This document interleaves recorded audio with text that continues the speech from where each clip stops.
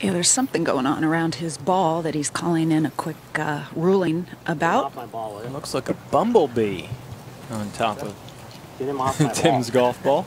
It's a bee. I can't touch him. You can't either. I You can't? Try to, you try to wave him. Is that like illegal or what? You can't touch it. Just kind of let him do his thing. Or how many holes behind are we? Is there one in? You're okay. Yeah, pretty much. Now kill him. it's Oregon. Watch out.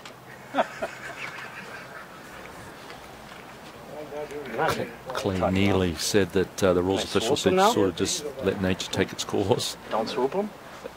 You swoop him then. Tough guy. Careful. about that.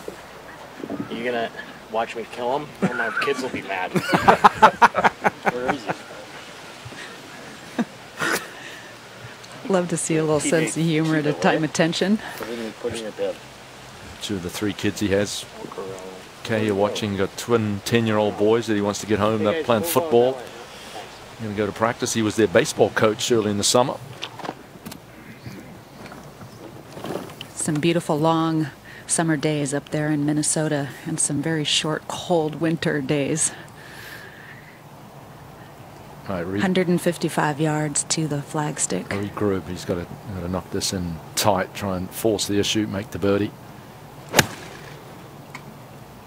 No, this one going out to the right and then sort of self-correcting. That was kind of an interesting shot. Come back down the slope, utilized it nicely. Ex- Wow. Excellent golf shot. That looked like a cut draw. He's got that.